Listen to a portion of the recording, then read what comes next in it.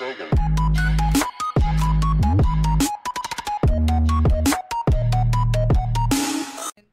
Hello YouTube, I'm Chris the Slayer from the Undead Slaya Nation, and I'm here to teach you guys how to add attachments to Black Ops 3 Custom Zombies on the PC. So you will need Black Ops 3 in the PC. So hover down to Steam.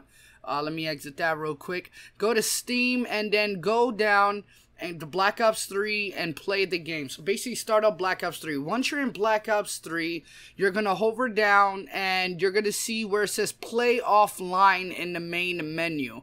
So press play offline and then uh, you go to that.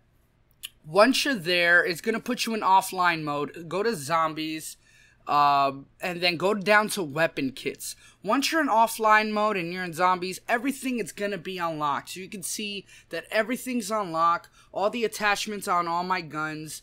Uh, I'm gonna go down. Look, you see, you can see all the attachments. You can go down and see everything else. Uh, look at that. Everything. You can see all my attachments. So that's the beauty. Do all your attachments. Once you do that, leave the lobby. Leave the game after you edit all your attachments on your weapons, make sure you leave the game. And after that, you want to go down to your folder. So go to Windows Explorer folder. You should have any folder around your PC. That should be the easiest thing in the world. So basically, you just click on a folder and go to Windows C. So you're going to go down to Windows C right there. And then you're going to go to Program Files x86. Once you go there, you're going to hover down and you're going to try to find Steam. There you go. Steam, there it is. Then you're going to go down to Steam Apps. Double click on Steam Apps. Then you're going to go and you're going to find Common. Once you go to Common, you're going to find Call of Duty Black Ops 3. Go there and you're going to see a bunch of folders, as you can see. You're going to go to a folder that says Players. So go to that folder to where it says Players. Now you're going to look for two files, and I stress this, two files. And the first file you're going to find is called loadouts underscore ZM offline zero. So pay attention to what I'm doing right now. So basically the first file we're going to go right here. We're going to find it. So you're going to go loadouts underscore ZM underscore offline underscore zero like loadouts underscore zm underscore offline underscore zero. That's the first file.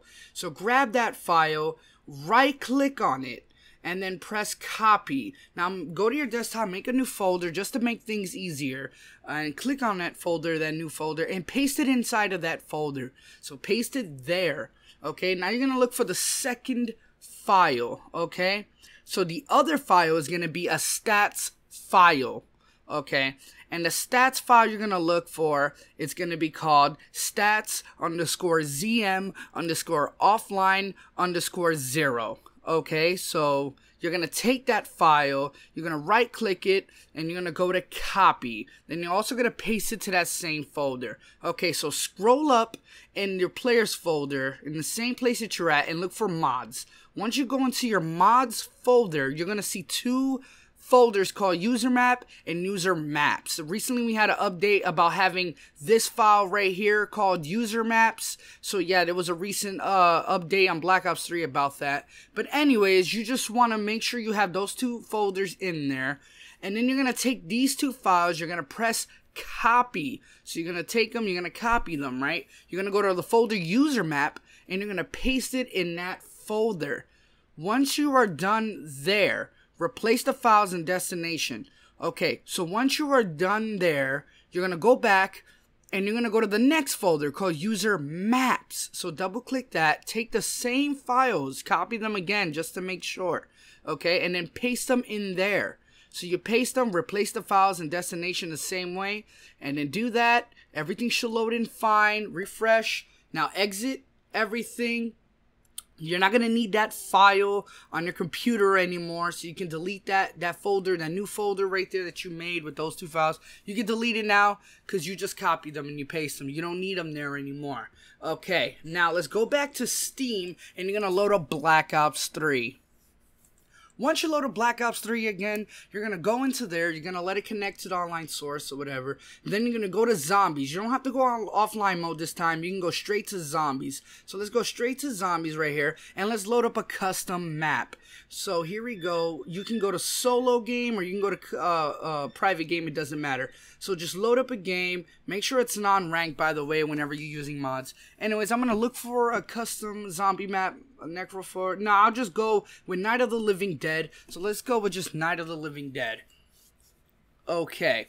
Once you're in the map, you're gonna see that well first it's gonna load up so let the let the custom map load up first i'm doing this very slowly guys i don't want to cut too much because i want you guys to see this carefully okay so basically you just start the game like any other custom zombie map that you would so start it and go into the custom zombie map let it load up and then once you get into the map, guys, I stress this, okay? I really want to show you guys that this works because a lot of people do not know how to do this still. So here we go. Uh, I'm going to go...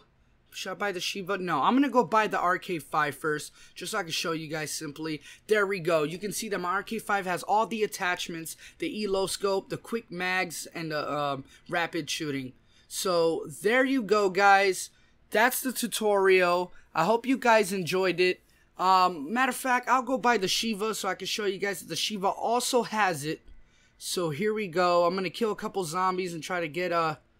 there we go. Let me shoot this. One, two, three, four, five, six. Knife them. Okay. One, two, three, four, five, six. Knife them. Okay, let me go run and buy the Sheiva so you guys can see it. I buy the Sheiva and bam, there you go. The Sheiva also has the attachments. Well, guys, this was Chris the Slayer from the Undead Slaya Nation, and peace out, YouTube.